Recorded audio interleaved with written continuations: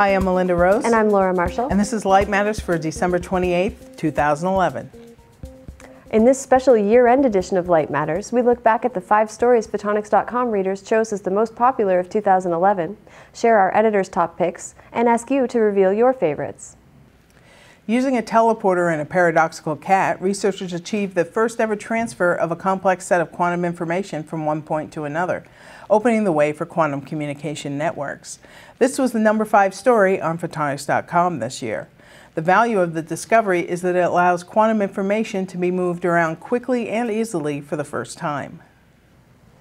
A story we covered just last week on the show is fourth on the list.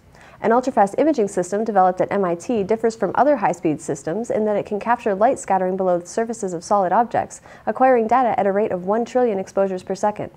The camera was intended for use in experiments where light passes through or is emitted by a chemical sample. Because the system requires multiple passes to produce its videos, it can't record events that are not precisely repeatable. The way in which light scatters is useful information for several practical applications, such as in designing better camera flashes. A novel microscopic device developed at Cornell fits on the head of a pin, contains no lenses or moving parts, costs just pennies to make, and could revolutionize an array of fields from surgery to robotics. It comes in at number three. It's not going to be a camera with which people take family portraits, but there are a lot of applications out there that require just a little bit of dim vision, one of its creators said. Photonics.com's second most popular story was about work at UC Davis to transform iPhones into medical quality imaging and chemical detection devices. With materials that cost about as much as a typical app, the decked out smartphones use their heightened senses to perform detailed microscopy and spectroscopy. The enhanced iPhones can resolve features on the order of 1.5 microns, small enough to identify different types of blood cells, and could help doctors and nurses diagnose blood diseases in developing countries.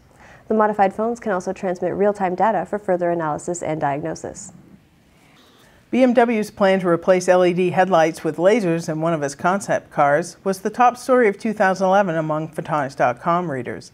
Laser lights are more efficient than LEDs and consume less than half the energy, which would save on power consumption and, in turn, fuel costs.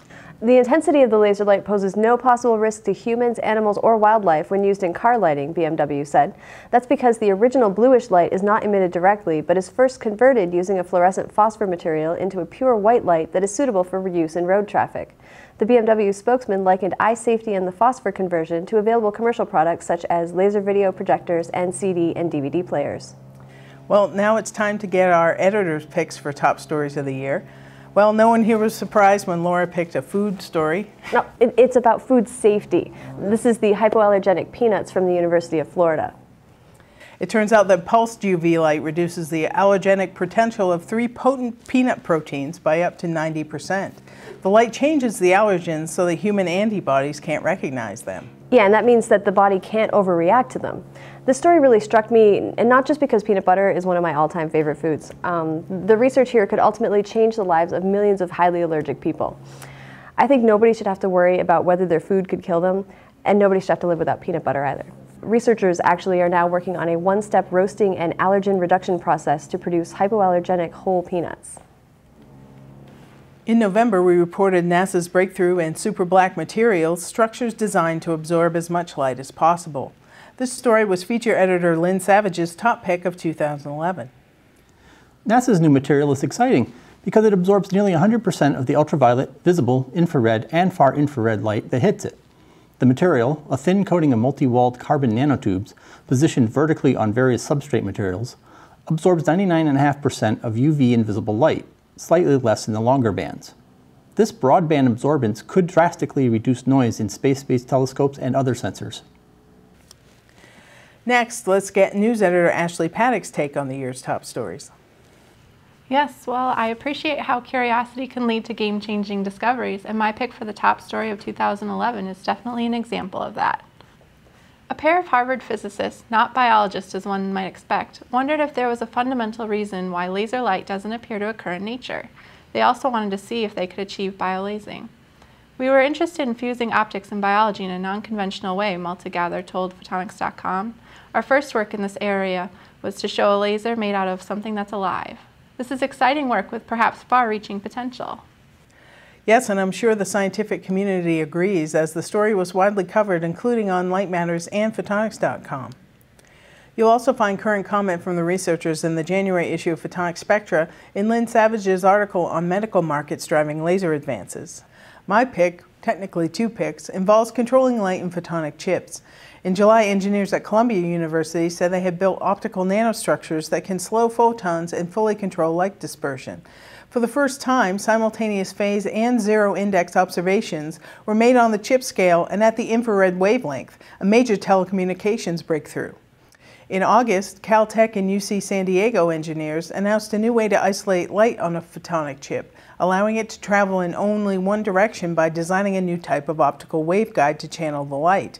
With their silicon-based device, they became the first to isolate light with a linear material. An article on their work appears in the October issue of Photonics Spectra. And speaking of Spectra, managing editor Laura Marshall is back. Hi again. Of course, this year's photonics excitement doesn't stop at research. On next week's show, we'll look at the top business stories of the year. In the meantime, please tell us what you think were the most important photonics stories of the year by emailing us at lightmatters at photonics.com. And don't just tell us. Our iPad 2 giveaway is going on, and you can enter by sharing a link to this or any episode of Light Matters with a friend or colleague. So tell someone about your own top Light Matters story, include a link to the show and copy us, and maybe you'll win an iPad 2. You can do that easily by clicking the link under the Light Matters player on our homepage at photonics.com. So thanks for watching, and we'll see you next week for another 5 Minutes to Enlightenment.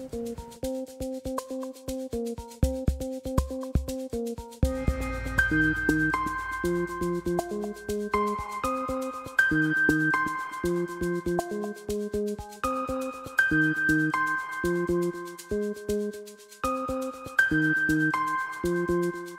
you.